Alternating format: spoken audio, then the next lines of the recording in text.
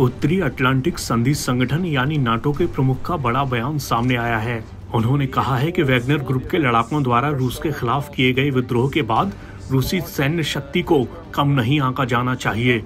इसके साथ ही उन्होंने कहा कि ऐसे में यूक्रेन का सहयोग करते रहना महत्वपूर्ण है। नाटो प्रमुख जेन्स स्टोल्टेनबर्ग ने यह भी कहा कि गठबंधन ने हाल के दिनों में रूस का मुकाबला करने के लिए अपनी तैयारी बढ़ा दी है। स्टोल्टेनबर्ग ने कहा कि जब नाटो सदस्य देशों के नेता 11-12 जुलाई को लिथुआना की राजधानी विनियस में मिलेंगे तो गठबंधन रूस और उसके सहयोगी बेलारूस का सामना करने के लिए अपनी ताकत और तैयारी को और बढ़ाने को लेकर फैसला कर सकता है। इस बीच हेग में नाटो सदस्य देशों के आठ नेताओं की एक बैठक में लिथुआना के राष्ट्रपति कितानिस नौसेदा ने कहा कि अगर वैगनर ग्रुप बेलारूस में अपने सीरियल किलर तैनात करता है तो पड़ोसी देशों के सामने खतरा बढ़ जाएगा।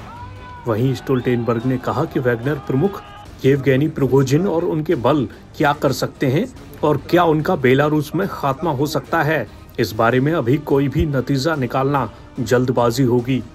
आपको बता दें कि यूक्रेन युद्ध शुरू होने के बाद से ही प्राइवेट आर्मी ग्रुप वैगनर के प्रमुख और रूस के सैन्य अधिकारियों के बीच तनातनी जारी थी।